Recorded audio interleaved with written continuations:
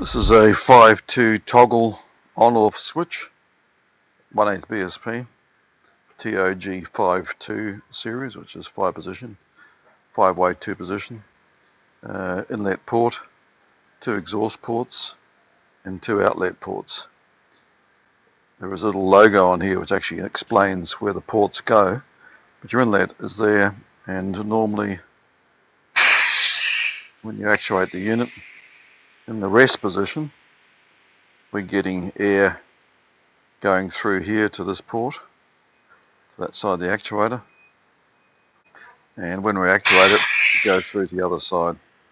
Uh, we have a exhaust silencer on here which I just put in as a just to quieten it down but also I put a flow control in there so that sort of controls the speed. I can actually increase the speed of turning rotation one direction, opening that up it'll go faster.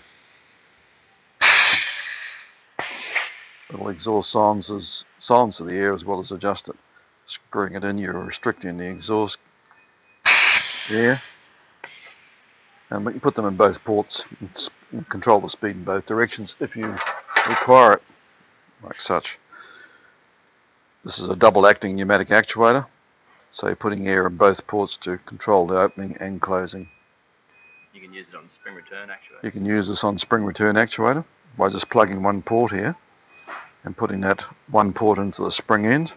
Better off running it to both those so you get clean air. Usually with 5.2, yes, it's quite, if it's a spring return actuator, put air into both sides and that way at least getting filtered clean air going through to the other side rather than having possibility of dust being sucked in because our pneumatic actuators are in fact double acting with springs inside them so both ends are sealed so you can have air in both ends plus a spring to assist as an emergency override.